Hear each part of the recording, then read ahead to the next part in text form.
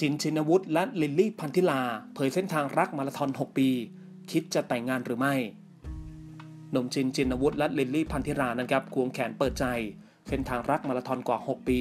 พิสูจน์รักผ่านอุปสรรคมามากมายมาจนถึงวันนี้ พร้อมกับแง้มเรื่องของการแต่งงาน เป็นอีกหนึ่งคู่รักครับที่คบกันมาราธอนนานกว่า 6 ปีสำหรับนักร้องหนุ่มอย่างชินชินวุฒและลิลลี่ภัณฑิลาครับโดยล่าสุดนั้นได้เปิดเผยบทสัมภาษณ์ของทั้งคู่ ถึงเส้นทางความรักที่ผ่านมา พร้อมกับเคลียร์ข่าวมาว่า หนุ่มชินนั้นเตรียมเข้าสมาคมคนกลัวแฟนเป็นที่เรียบร้อยแล้ว พิธีกรรายการนะครับเริ่มถามว่าโควิด ส่งผลกระทบอะไรกับชินบ้าง หนุ่มชินนะครับบอกว่าผมก็มีละครที่ถ่ายอยู่ 2 เรื่องกำลังจะเปิดเรื่องที่ 3 เสร็จก็มีอีกเรื่องหนึ่งเข้ามา ทีนี้ทุกอย่างมันก็โดนเลื่อนหมด พอสถานการณ์มันกลับมา พอจะถ่ายได้ แปลว่าผมต้องถ่าย 7 วัน ก็คือทั้งหมด 4 เรื่อง แล้วเพลงที่กำลังจะปล่อยก็เลื่อนด้วย พิธีกรรายการนะครับเลยถามต่อว่ากักตัวกี่รอบแล้วชินนะครับบอกว่าคือรอบแรกผมเจอพี่แมทธิว ผมไปซ้อมมวย จริงๆ สิ่งที่พี่แมททำเป็นสิ่งที่ดีมาก เขาเป็นแล้วเขาก็บอกทุกคน เพราะมันเป็นสิ่งที่เราต้องรู้ให้เร็วที่สุด เพื่อให้คนที่อยู่ใกล้ตัวเขาได้กักตัว ผมก็เลยไปตรวจ แล้วก็กักตัวเอง 14 วัน พอกักเสร็จคิดว่าจะออกมาทำงาน ปิดเคอร์ฟิวเรียบร้อยครับ อยู่ต่อยาวๆกันไป พิธีกรนะครับได้หันไปถามลิลลี่ มีผลกระทบอะไรกับลิลลี่ไหมลิลลี่นั้นบอกว่าละครค่ะ คือถ่ายอยู่ก็ต้องหยุดเลย ธุรกิจทางบ้านก็กระทบเรื่องส่งออก มันก็กระทบหลายด้าน แล้วพอพี่ชินกักตัวเสร็จปุ๊บ หนูก็กักตัวต่อ ตอนนั้นมันก็มีข่าวน้องแพรวา แล้วเราก็อยู่ในงานนั้นด้วย คบกันมาทั้งหมดกี่ปีแล้วลิลลี่นะครับบอกว่าปีนี้ปีที่ 6 แล้วค่ะ หนุ่มชินนะครับบอกว่าเจอกันในกองถ่าย ตอนนั้นลิลลี่เล่นเรื่องรอยเล่ห์เสน่ห์ร้าย เล่นคู่กับพี่พุฒก็เจอกันในกองละคร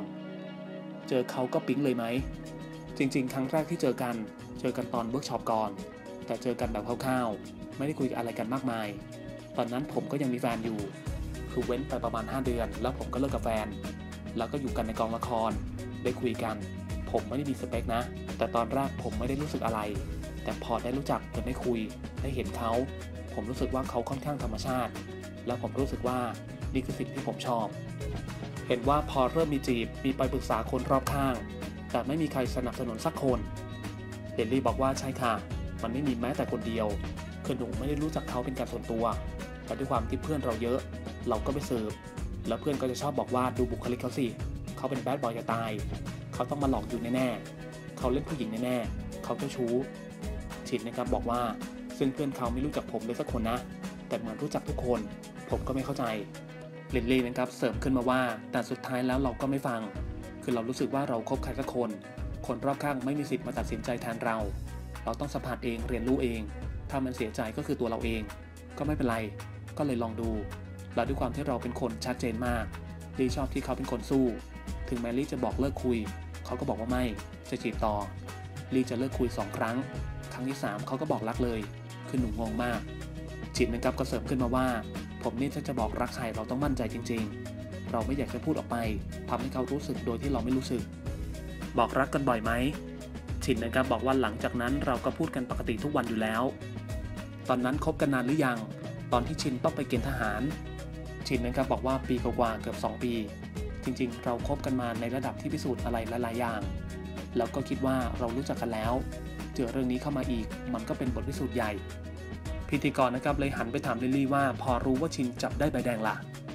ลิลลี่นะครับบอกว่าวันที่หนูรู้ไม่ได้รู้จากปากเขาด้วยนะ หนูอยู่ในห้องเรียน แล้วเห็นข่าวก็ช็อกค่ะ ตอนนั้นก็มีเวลาแค่เดือนเดียวที่จะได้อยู่ด้วยกันหนุ่มจินนะครับเสริมขึ้นมาว่าเราก็ไม่ได้คิดว่ามันจะมาถึงจุดนี้นะ คือมันเป็นการเปลี่ยนแปลงในชีวิตของผมทุกๆ อย่างเลย เราไม่ได้คุยกัน คือจริงๆ 3 เดือนช่วงฝึกทหารใหม่ ก็เป็นช่วงที่เราไม่ได้คุยกันเลย คือช่วงนั้นเป็นช่วงที่หนักและท้าทายมาก เรามีโทรศัพท์วิดีโอคอลไลน์มันก็ยังดีนะ แต่ในช่วง 10 อาทิตย์แรกไม่ได้คุยกันเลย แต่นางก็แอบมาดู เราก็โบกมือทักทายไป ก็โดนทำโทษกันไปลินลี่นะครับบอกว่าตอนนั้นเราไม่ได้บอกลากันเลย อยู่ดีๆเขาก็ไป มันก็เลยช็อกโทรศัพท์ก็ไม่ได้คุย อะไรก็ไม่ได้ คือเราก็เลยอยากรู้ว่าความเป็นอยู่ของเขาเขาจะอยู่ยังไง จะกินยังไง คนมันไม่เคยอะพิธีกรรายการนะครับเลยถามว่าลินลี่แสดงความชัดเจนยังไงว่า เราซื่อตรงและมั่นคงในเขา ลนลี่นะครับบอกว่าหนูรู้ว่าเขารู้อยู่แล้วว่าเราเป็นยังไง แต่ด้วยความที่โทรศัพท์เขาก็ใช้ไม่ได้ แล้วมันก็มีผู้ชายส่งข้อความมา แล้วเราก็แคปส่งให้พี่ชินดู ชินนะครับบอกว่าอันนี้พีคมากเลยนะครับ คือผมเพิ่งเข้าทหารไปไม่ถึงกี่วัน ผู้ชายก็ทักไปหาแล้ว คิดดู สาวลิลลี่นะครับเสริมขึ้นมาว่า ถ้ามีอะไรแบบนี้หนูจะแคปแล้วส่ง ถึงแม้เขาไม่ได้ดู แต่มันคือความสบายใจ อย่างน้อยเขาเปิดมา เธอ เธอไม่ต้องห่วงนะลี่ไม่ได้คุย ลี่อยากให้เขารู้ว่าคนที่ทักมา เธอไม่ต้องกลัว ทราบข่าวมาว่าเธอไม่ get กับครอบครัวของชินลิลลี่บอกว่ามันไม่ใช่ไม่ get คือความที่มันแตกต่างกัน ถึงแม้ว่าหนูจะโตอินเตอร์ ไปเมืองนอกมาก็ตาม แต่พี่ชินเขาเป็นฝรั่งเลย มันก็ปรับกันค่อนข้างเยอะพอสมควร ชินนะครับบอกว่าเรื่องหนึ่งที่ปรับผมว่าเอาจริง ๆ เลย เป็นเรื่องความเข้าใจในตัวกันและกัน เหมือนลี่เขาจะเป็นห่วงตลอดเวลา เป็นห่วงทุกเรื่อง และด้วยความเป็นห่วงมันก็มีความดุ เราก็ทำอะไรมาตั้งแต่เด็ก และเหมือนเราพิสูจน์อะไรมาหลายๆอย่าง จนถึงจุดหนึ่งเราก็ประสบความสำเร็จในตัวเรา เราก็จะมีความดื้อ มันก็เลยกลายเป็นว่าเราเถียงในความเป็นห่วงของเขา แต่สุดท้ายเราก็ยอมเขา เพราะเราเข้าใจในความหวังดี ขอถามหน่อยคุณอยู่ในสมาคมคนกลัวแฟนไหมหนุ่มจินนะครับตอบว่าใช้คำว่ารีสเปคครับเคารพดีกว่าครับ ถามว่ากลัวไหมก็มีกลัวบ้าง เวลาเขาดุแต่ว่าอีกมุมหนึ่งคือถ้าถามว่ากลัวไหมก็ไม่ได้กลัว แต่เราเข้าใจว่าเขาเป็นห่วง ที่เขาดุเพราะเขาเป็นห่วงเรา